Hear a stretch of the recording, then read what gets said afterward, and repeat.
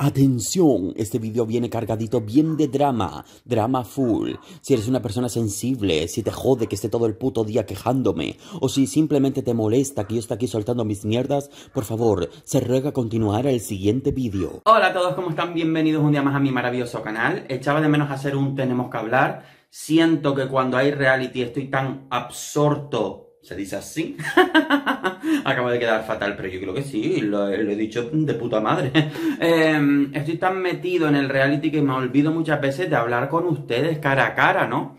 Y creo que es importantísimo esta sección, porque aquí es donde me desahogo, aquí es donde les cuento a ustedes todas mis penas, y, bueno, luego hablaremos de ese tema porque hay gente que me ha dicho, Jolín, es que en esta sección solo te queja, eh, ya, por eso se llama Tenemos que hablar. Si no le diría, tía, siéntate que te lo cuento, o algo así me buscaría un nombre más original. Pero bueno, este vídeo te voy a contar prácticamente unas cositas que me tienen un poco molesto.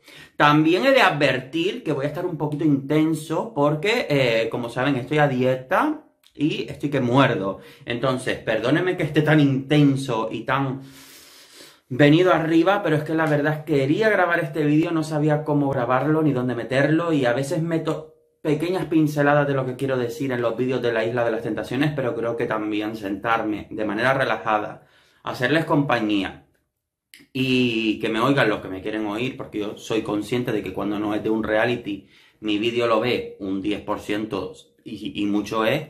Así que nada, vamos a comenzar porque tengo muchas cosas que contar.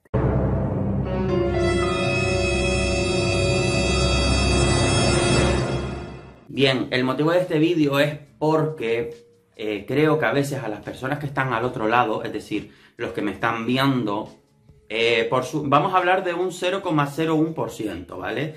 No el 99,01,099 o el 99,9% de la gente es sana, es divertida, viene aquí a pasar un buen rato, nos lo pasamos de PM, o sea, de verdad, encantadísimo con los comentarios que estoy recibiendo últimamente en su mayoría, por no decir prácticamente todos, pero siempre hay alguno que se sale del tiesto. Digo esto porque creo que ya estamos llegando a unos límites donde confundimos un poquito las cosas y yo quiero explicarles a ustedes lo que se siente estando a este lado de la pantalla, que muchas veces ustedes no lo saben, porque mi drama a veces cojo alguna captura y lo pongo por Instagram para que ustedes vean. Por cierto, síganme por Instagram, que es donde comparto toda mi morralla. Eh, para que ustedes vean las cosas que yo tengo que aguantar a veces, ¿no? Y no estamos hablando de cosas del tipo... Eh, Alex, no, no está bien encuadrada la imagen, que no lo está, pero son cosas más delicadas. Y para que ustedes se pongan un poquito en mi piel.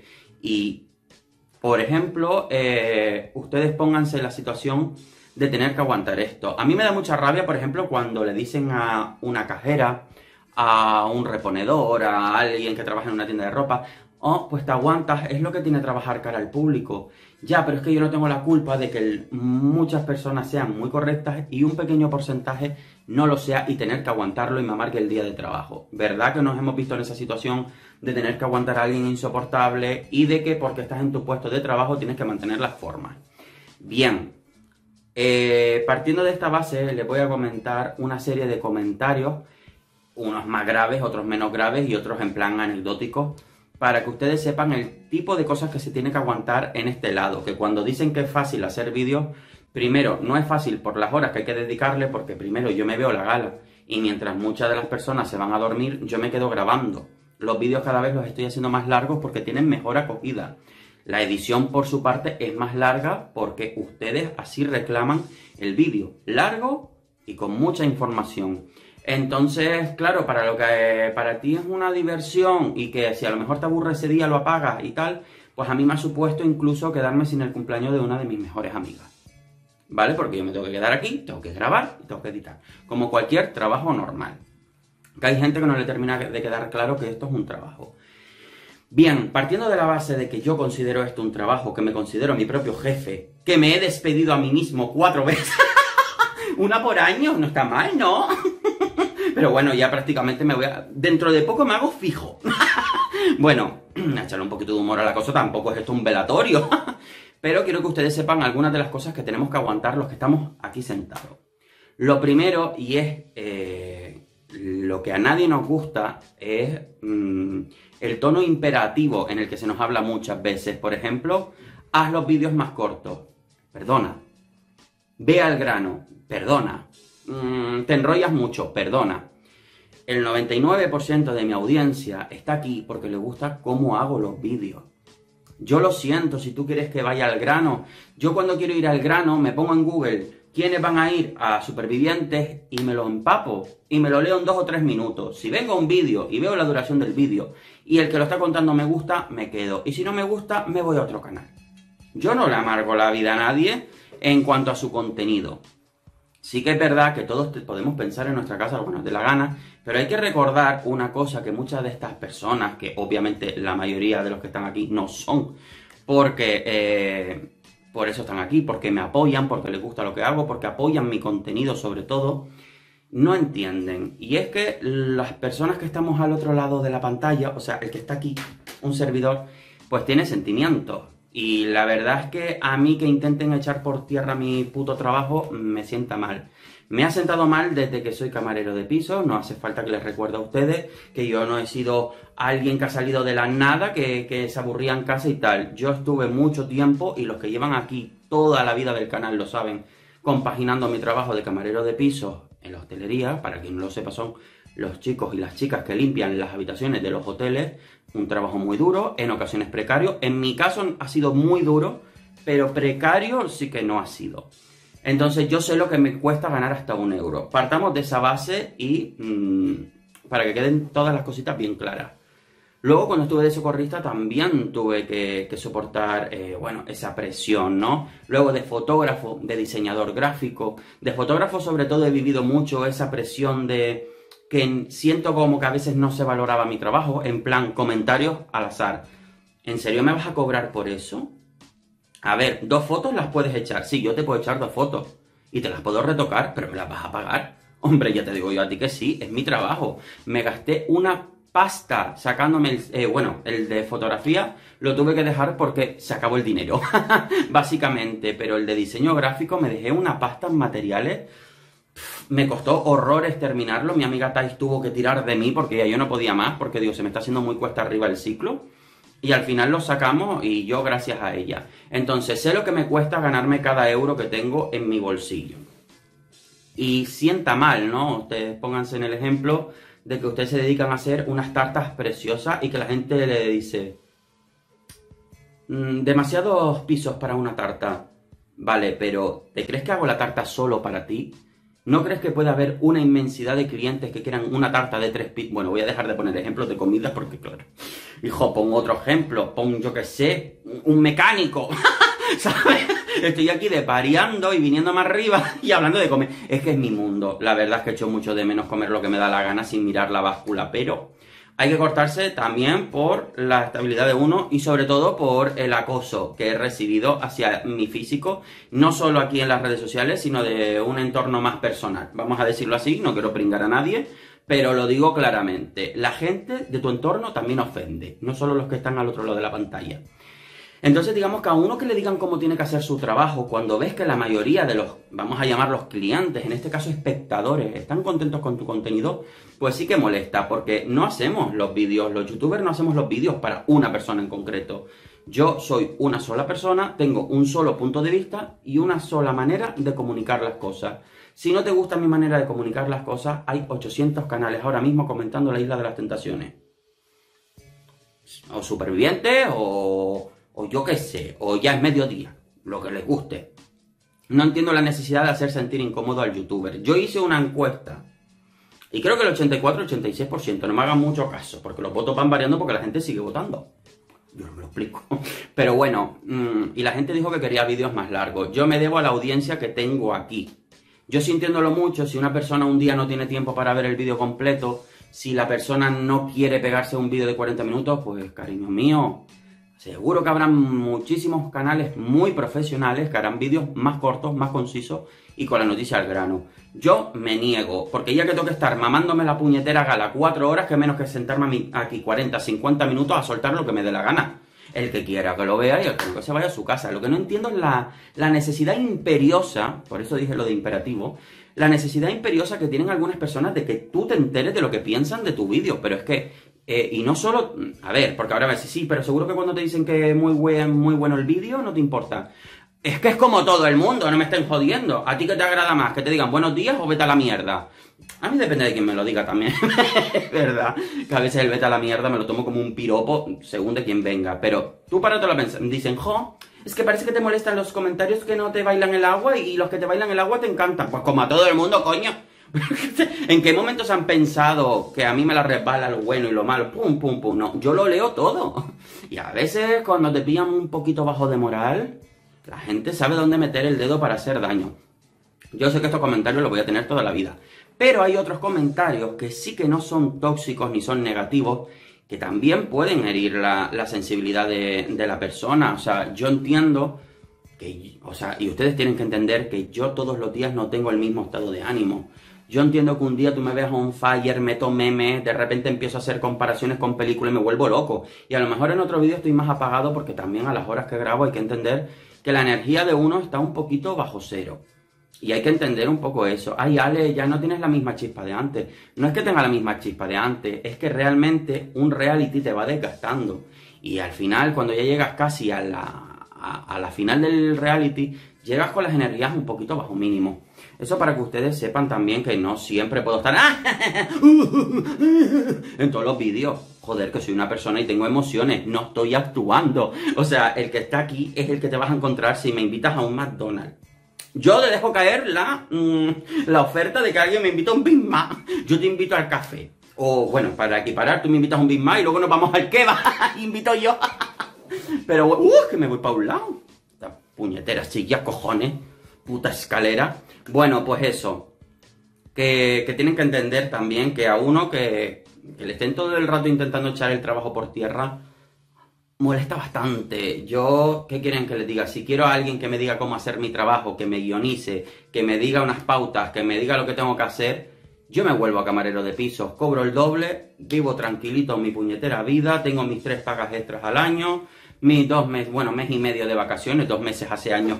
Bueno, yo nunca tuve dos meses de vacaciones trabajando de camarero de piso y vivo la vida tranquilito. ¿Saben? Es que tampoco, tampoco quiero sacar de quicio este tema, pero quiero que ustedes me entiendan.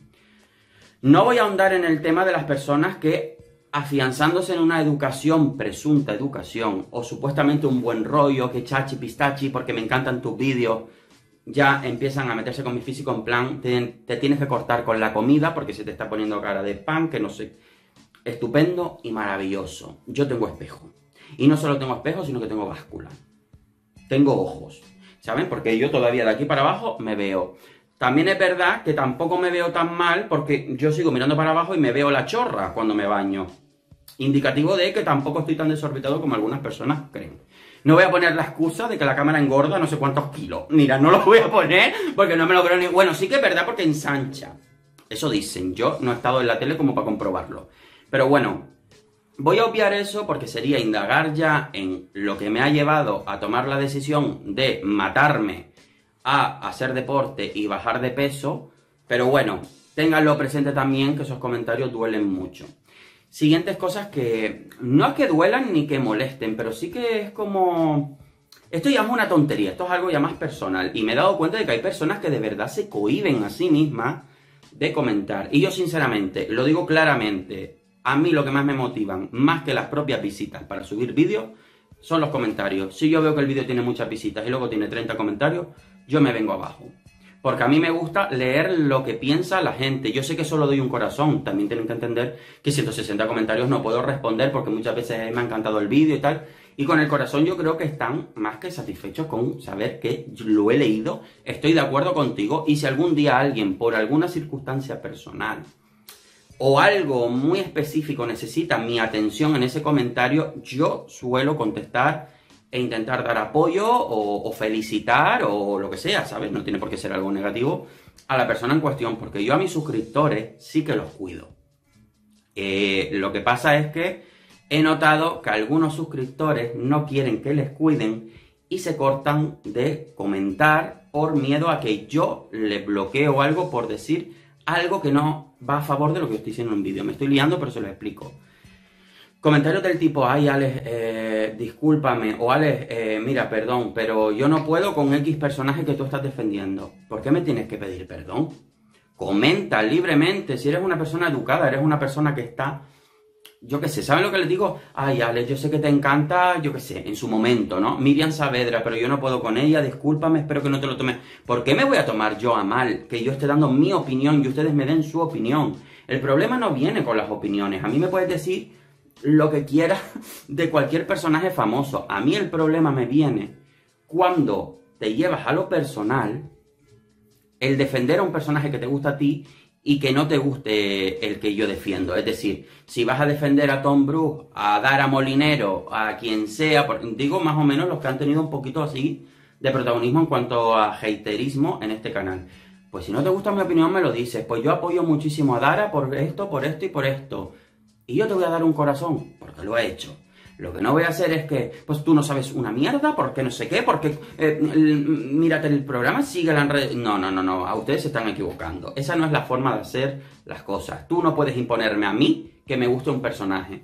También una chica me dijo muy educadamente, pero que considero que no tiene la razón, pero fue muy educada, las cosas como son, que me dijo que a lo mejor tendría que que tener un poquito de consideración y, hablar bien de un determinado personaje. No lo voy a decir porque si no el comentario es muy obvio, pero es de un concursante que va a entrar a Supervivientes presuntamente, mi palabra favorita. Y yo me paro a pensar y digo, no, no voy a hablar bien de un concursante que me cae mal solo porque atraiga a ese sector de la población que les cae bien ese personaje. Entonces ya no estoy siendo yo. Estoy siendo un robot que está diciendo todo para contentar a todo el mundo y que todo el mundo se vaya con una buena sensación a la cama. Y cariño, yo no soy un Ferrero Rocher, al otro ejemplo de comida. Es que de verdad todo, señales, señales de que te salte la dieta, Alejandro, sáltate la dieta. Ahí al final no cayó la Oreo, pero cayeron cuatro galletas de dinosaurio. Lo siento. es pecado, padre. Una vez en dos semanas, matadme. pero bueno, retomando el, tema serio, ¿ustedes se imaginan que yo me pusiera aquí a regalarle los oídos a todo el mundo y yo me tragara mi opinión? Entonces, ¿para qué tengo un canal? Para eso me voy al plato de Tele5 que me dicen tú hoy defiendes a este, a este, a este y atacas a este, a este y este. Y me llevo, bueno, una pasta no, porque yo creo que cobrarán ellos lo mismo por gala que yo por vídeo. Pero también es una cosa eh, que vamos a ver, vamos a ser racionales un momento. Si tú ves un canal es porque te gusta.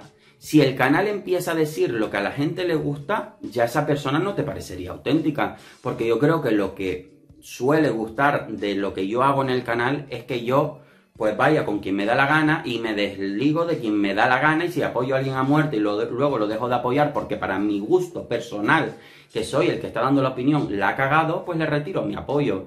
Yo no soy un juez, no soy un presentador, no soy eh, Pedro Piquera. No estoy aquí para informar a la gente, estoy aquí para pasármelo bien haciéndote un resumen, contándote lo que yo he visto en la Isla de las Tentaciones, y, o en Supervivientes, o en GH Duo, o en El Tiempo del Descuento. Si yo de repente empiezo, ay, qué buen tío, no sé quién, que no sé cuánto, y en el fondo estoy pensando, me cae como el culo, yo no estoy haciendo un contenido de calidad. Estoy haciendo un contenido para regalarle los oídos a los fandoms. Y no, no me da la gana. Yo tengo aquí muchos fans de Dara que saben que ya yo por último no apoyaba a Dara y sin embargo aquí siguen. ¿Por qué? Pues porque este chico, que soy yo, tiene su opinión y esas personas tienen el suyo. Y en eso consiste ser una persona adulta. En saber que la sinceridad no es que esté sobrevalorada, pero parte de ser una persona educada consiste en saber decir lo que se tiene que decir en cada momento. Las personas que dicen siempre lo que piensan y en el tono que les da la gana no son más maduras son prepotentes. Entonces, eso es otra de las cosas que me tiene disgustado, que me intenten imponer, ya no solo cómo tengo que hacer mi trabajo, sino lo que tengo que decir. Yo no soy el, Truman, ¿sabes? No estoy en el show. Entonces, yo sé lo que me van a decir muchos en los comentarios, es que los estoy viendo. He viajado al futuro con mis cartas de pesadilla antes de Navidad y estoy viendo a Alex pasar de lo que diga la gente, que tú sigas así, porque no... Yo eso lo entiendo, pero ustedes también tienen que entender que o yo me desahogo o termino explotando. Porque eh, desde que empezó la pandemia, el tema de los comentarios súper agresivos, yo no voy a hablar ya porque incluso mi novio se tuvo que defender en un vídeo que hice el tag del novio, defendiéndose porque una nos acusó de lo más grande que se puede acusar y tengo constancia de que no soy el único al que le está pasando ahora mismo en YouTube. Eh, se nos va un poco la, olla, se nos va bastante... Eh, eso de juzgar a las personas y creernos que, porque me estás viendo en un vídeo ya tienes derecho a insultarme. Y más peligroso me parece esa gente que dice, ah, pues si no te gusta que te digan las cosas, vete de las redes sociales. Claro, yo me tengo que ir de mi trabajo, de mi puesto de trabajo, con el cual estoy pagando no solo mi factura, sino mi, mi, ingreso, mi, mi, vamos, mis impuestos, coño, como todo el mundo. Estoy pagando yo mis impuestos para tener que aguantar a cuatro personas que están desequilibradas de la cabeza y que no saben comportarse en las redes sociales. Pues mm, déjenme que les diga que esto se está recrudeciendo. YouTube cada vez toma más medidas con respecto a estas cosas. Antes estábamos muy desprotegidos hasta el punto que a mí me han llegado, ustedes lo saben que lo he contado en tenemos que hablar, que a mí me han llevado a amenazar de muerte y todo, y alguien que me tiene que conocer porque sabe dónde vivo perfectamente. O sea que, mmm, atando cabos, tú sabes que ella es una... Entonces lo que les digo, ¿por qué tengo que aguantar yo eso? Ah, vete de las redes sociales. Y no es más fácil eh, que la gente que no es apta para estar en redes sociales porque no se sabe comportar, porque son agresivas, se vayan ellas de las redes sociales. Nos tenemos que ir los que creamos contenido para una inmensa mayoría de público, que son audiencia sana, una audiencia que siempre está pendiente de cuando sube vídeo, gente que hasta le pone like al vídeo sin verlo porque le da igual lo que vayas a decir, porque aunque no estén de acuerdo contigo, saben que le vas a dar un buen rato de entretenimiento. Entonces me pregunto yo, ¿soy yo el que se tiene que ir de aquí? No, básicamente no. Porque es como si yo le digo ahora a una cajera, es que le pongo el ejemplo de la cajera porque es el ejemplo que me pusieron a mí y es verdad. Le digo a una cajera, mira, no me gusta cómo atiendes, ¿por qué no te largas del puto supermercado? Porque no, no, porque a lo mejor hay una fila de personas esperando a que esa cajera les atienda porque le gusta cómo atiende esa cajera. Y yo no tengo derecho de jugar con el pan de nadie, que eso es lo que a la gente no le ha quedado muy claro después de tantos años usando redes sociales. A partir de la cuarentena, esto se ha recrudecido. Esto se ha hecho un puto infierno. Tengo constancia de que más compañeros y compañeras están pasando por lo mismo a diario eh, y tal, porque yo entiendo que haya gente que se siente mal y que ya empieza a estar harta de estar en casa y que esa frustración la tiene que canalizar. Te compras un puto saco de boxeo, pero a mí nadie va a venir a hacerme sentir mal. Primero porque yo he tenido que aprender a llevar esta situación también. Yo no estoy mm, de, paseo, ni me pasé el tiempo que estuvimos todos en cuarentena, me lo pasé yendo a Malibú, en mi yate. O sea, yo también estaba aquí en casa y para mí estar en casa no es un problema. Pero el hecho de que, por ejemplo, estar encerrado en casa sin que mi pareja, por ejemplo, pueda ir a trabajar y yo no tener mis, mis huecos para grabar y tal, para mí sí es un problema porque yo necesito un espacio para estar yo solo porque soy una persona que aquí donde me ven soy bastante solitario. Y yo estaba también estresado. Y yo no lo he pagado con nadie. Yo seguía haciendo mi contenido. Hice vídeo diario. Recuerdo que hice vídeo de lunes a sábado. Además, hice seis vídeos a la semana. Cosa que ustedes nunca habían visto en el canal. Porque yo siempre he subido vídeo día sí, día no. Esa es la dinámica del canal. Y me estaba esforzando y lo que recibía por parte de algunas personas era eso. Pues vete a la mierda, pues muérete, pues puto gordo, pues... Y yo he notado que a medida que ha ido avanzando el tema de la pandemia, se ha recrudecido más. Yo lo entiendo, yo también leo en los periódicos, sé que también esto está pasando factura, que los psicólogos no dan abasto. Yo lo entiendo, pero es que eh, tú también como persona, por favor, te puedes autocontrolar y te lo está diciendo alguien que lleva 12 años, 13 años casi ya, con ansiedad, depresión, con cuadros de melancolía, que es una... Es como una versión más crónica, más corta, pero más intensa de la depresión y con un, con un trastorno de ansiedad generalizada. Entonces, te lo estoy diciendo yo, que he tenido que aprender a canalizar mis emociones para que no me superen y para no tirarme por una ventana, pues por favor, eh, si tienen esa necesidad de odio, cierren eh, las redes sociales, griten por la ventana, rompe un cenicero, ¿sabes? Cómele la bola a tus amigos, a tus amigas, a tu entorno, que son los que te tienen que aguantar, pero venir a amenazar, a insultar, porque estás estás mal emocionalmente, me parece de cobarde. Una cosa tal. Luego también están las personas, y ya con esto acabo, que creo que les estoy volviendo un poquito locos y locas. Son las personas que disfrazan un comentario troll o hater de crítica constructiva. ¿Me explico? Eh, que sepas que no estás nada acertado en el vídeo porque lo que has dicho de esta persona no es así, porque a mí me gusta y a la gente como yo le gusta. Es una crítica eh, constructiva. No, no es una crítica constructiva, es un punto de vista personal. Crítica constructiva es el muchacho que una vez me dijo que el volumen estaba demasiado bajo en ese vídeo, que por favor lo corrigiera porque ni con casco se escuchaba alto. Eso es una crítica constructiva, un consejo que yo necesito escuchar. Crítica constructiva. Eh, Ale, se te olvidó fijar el comentario con los canales de tus compañeras. Eso es una crítica constructiva. Alex, el fondo se ve muy oscuro, de verdad, eh, tal. Y cuando yo veo que ese comentario es apoyado, porque yo tampoco puedo poner un fondo que le guste a todo el mundo. Yo tengo aquí a la Audrey porque me gusta a mí, básicamente. Tal. Oye, Alex, que no se escucha, no se ve bien. Son críticas constructivas. Pero a mí que me diga, vete al grano, no te enrolles tanto. Eso no es una puta crítica constructiva, eso es tu puto, puto punto de opinión. ¿Y qué quieren que les diga? En los likes, dislikes y comentarios no se refleja una inmensa mayoría de gente disgustada porque yo en un vídeo empiece pam, pam, a cortar el bacalao, luego haga así y empieza a desvariar. ¿Ustedes se imaginan eh, invitar a un grupo de 10 personas a tu casa? Es un ejemplo tonto, pero es un ejemplo. Y que todo el mundo te diga qué bonita tienes la casa y que una sola persona te diga ese cuadro ahí no me gusta. Ese cuadro no tendría que estar ahí, tendría que estar en el otro lado. ¿Tú cambiarías el cuadro de tu casa porque venga una persona de fuera mientras todo el mundo está fascinado con el cuadro que tú has hecho, que has colgado y que tú mismo o misma estás encantado con dónde está ese cuadro? Pues no, cariño, es que no. Y yo no le digo a nadie cómo tiene que comentar, simplemente pido educación, respeto y ya está, y que se lo pasen bien comentando. Porque hay veces que da gusto leer los comentarios de gente que empieza ahí, y que son peores que yo a la hora de sacar parecidos a los famosos, a, a poner ejemplos de películas, a poner ejemplos de, como por ejemplo, eh, eh, J Zombie, J Pokémon Zombie, no sé el nombre, sé su nombre personal, porque lo sigo en Instagram, pero no sé su nombre exactamente en YouTube, que siempre tiene unas salidas que lo flipas, pero también es verdad que hay gente que empieza a desvariar, te deja un testamento, que encima yo me tengo que leer el testamento para saber en qué consiste el malestar de esa persona y básicamente es que no le gusta tu cara. Que no le gusta cómo relata las noticias, pues señor, señora, apague el vídeo y vayas a otro puto canal. Yo cuando estoy en Telecinco viéndolo y me dicen a las 3 de la tarde hora canaria que van a dar una noticia bomba y no me la dan hasta las 7 y media, 8 de la tarde hora canaria, yo no llamo a Telecinco y digo, mira, con la princesa Peach, mira, se pueden dar un poquito de prisa, pueden ir un poquito al grano, a que tú no lo haces. Ah, claro, pero es que Telecinco es una cadena y tú eres un canal. No te olvides que este es mi canal y esa es su cadena. Y cada uno en su trabajo hace lo que le da la puñetera gana. Si tú quieres hacer las cosas como te gustan, te abres tu propio canal.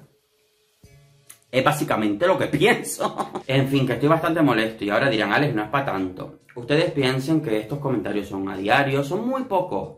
Digamos que son uno o dos como mucho, a lo mejor dos incluso un día pueden haber tres o cuatro, sobre todo en los vídeos de Isabel Pantoja, que hay gente que comenta en esos vídeos que no son suscriptores del canal. Ojo, que esto también lo tengo que dejar claro, que es que encima los que vienen imponiendo su punto de vista, los que vienen exigiendo que tú vayas al grano, que no sé qué, no son ni tus suscriptores. Y aunque lo fueran, tampoco tienen derecho. Yo he tenido que vivir como suscriptores por ser suscriptores de toda la vida, pues los he tenido que bloquear porque se empiezan a coger confianza, se creen ya como parte esencial del canal y créanme, señoras y señores, lo esencial de este canal, y a ver, ahora me va a decir egocéntrico y de todo, pero es que soy yo que soy el que graba los vídeos. Porque tú comentarás un vídeo hoy y no lo comentarás mañana. Y hay gente aquí que es, bueno, Ale, ¿cómo lo vale? Y ya desapareció de la noche a la mañana porque se cansa, porque no sigue el formato o porque ya no le interesa mi punto de vista. Y es totalmente lícito. Yo no me puedo casar con nadie y nadie tiene derecho a que porque yo te ponga corazón siempre, porque te haya dado mi Telegram o mi Instagram y hablemos por privado, creerte que ya tú tienes la potestad de decirme a mí lo que te dé la gana en el tono que te dé la gana. No nos confundamos, yo decido hasta dónde llego con la gente. Porque al fin y al cabo yo estoy aquí para entretenerle, el resto de las cosas es secundaria. No estoy obligado a responder, realmente no estoy obligado a responder comentarios, ni, ni yo ni ningún youtuber. Lo digo cuando veo un canales grandes que dicen, este ya ni contesta eh, comentarios. No está obligado. Su obligación es subir un vídeo, entretenerte. Dejar los comentarios para que tú te expreses. Y si quiere, contesta. Y si no, no. Esa ya no forma parte de su trabajo. Y mucho menos en redes sociales. Yo en Instagram, si ya en YouTube ya no estoy obligado, en Instagram, en Twitter, eh, en Badu, no estoy obligado a responder nada a nadie.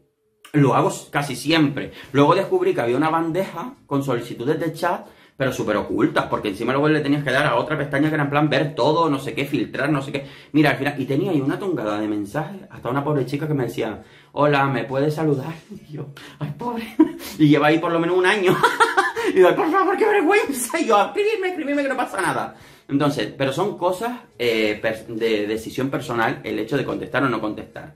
No estoy obligado a seguir a nadie, tampoco de vuelta, porque hay un montón de gente que me ha dicho, te dejo de seguir en YouTube porque no me sigues de vuelta en Instagram. O sea, en serio. O sea, tú sigues a alguien porque te gusta, vas a dejar de seguir tú a, bueno, Winnie Houston no, porque la pobre ya. Pero bueno, vas a dejar de seguir tú a Britney Spears. Porque no te siga de vuelta en Instagram. Ay, pero es que es Britney Spears, no te compares. No, no me comparo. Pero también es verdad que yo en Instagram sigo a la gente que yo sé que tienen algo en común conmigo. Una suscriptora que de repente veo que en su... Porque eso es... ¡Uh! Que me encanta a mí echarles el perfil a la gente que me habla y todo el rollo. Me encanta. Soy fan. O sea, fan. Lo digo ya mm, de entrada. No, no para nada malo, simplemente para fichear. Y cuando veo que empiezan a coleccionar películas, a coleccionar Funkos, que yo no tengo Funkos, pero me encanta ver que la gente compra Funkos. Yo soy así. Que colecciona música, tiene algo en común conmigo, videojuegos, cualquier cosa pues me apetece seguirla, pero eso no significa que a lo mejor a mí me apetezca estar todos los días viéndote galopar a caballo. En fin, creo que he pareado demasiado, creo que les he saturado de quejas. Espero que no me lo tengan muy en cuenta, necesitaba desahogarme. Y ustedes dirán, pues chico, apaga el vídeo y desahógate con tu pareja o con tus amigos. Son cosas que de verdad eh, creo que en esto sí puedo empatizar más con ustedes porque están en el mundo, me ven todos los días en este mundillo, saben cómo me desenvuelvo, pero también necesito que ustedes sepan esta cara oculta de, o sea, el detrás de cámara, behind the scenes. Estos son los extras que voy a poner en el DVD de mi vida.